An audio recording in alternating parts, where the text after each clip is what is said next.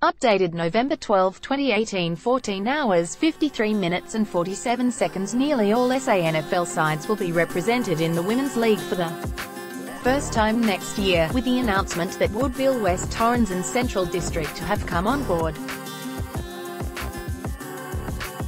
The league is scheduled to begin mid-February and involve 10 minor round matches before a finals series in May, SANFL Chief Executive Jake Parkinson said.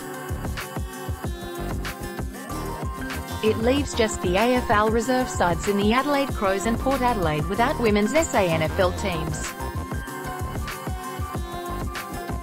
Meanwhile, the naming rights for the men's league has been bought by Statewide Super, which has held the rights to the Women's League since 2017, along with those of the mini-league competition played at halftime during men's matches. Mr. Parkinson said it was a tremendous boost for the strongest men's state league in Australia, a league which drew more than 40,000 to Adelaide Oval for September's grand final. Next year's Anzac Day clash between grand finalists Norwood and North Adelaide will be hosted by the Roosters at Prospect Oval. The Men's League will start on March 29 and the Premiership decider is slated for September 22. Rule changes outlined. For 2019 the SANFL will also introduce a number of rule changes in 2019 in line with AFL adjustments. The most notable of those will ensure players are in traditional starting positions before each centre bounce. It will repeal the hands in the back rule during marking contests, although players will not be able to push in the back. A player will no longer need to kick to themselves to play on out of the goal square following a behind, while the man on the mark will be positioned at least 10 meters back from the square as opposed to 5 meters. And players awarded a 25-meter penalty, 50 meters in AFL, will be allowed to play on while they are moving forward during the advancement of the penalty.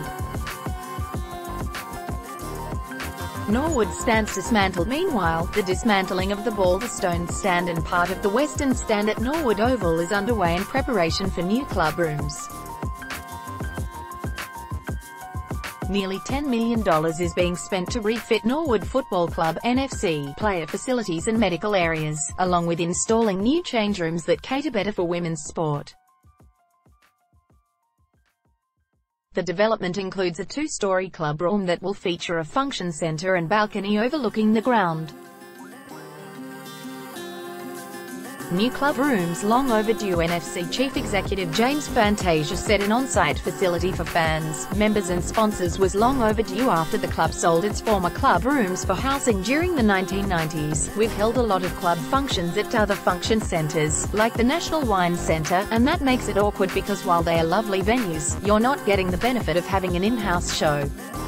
He said, bringing our own functions back home will be an enormous cost saver to the club, plus the facility provides a revenue opportunity in the months we're not playing football. You can share that with the community for events and organizations that want to use the facility. All the other clubs have that facility, and we haven't, so it's well and truly overdue, but it is not without some challenges.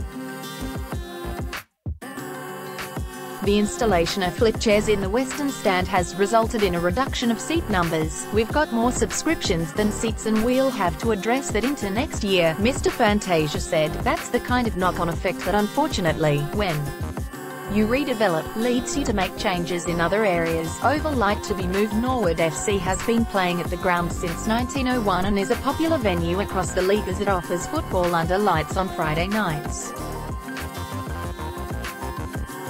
Mr. Fantasia said he hoped to have most of the night games scheduled for the first part of the year because one of the oval lights needed to be moved for the new clubhouse.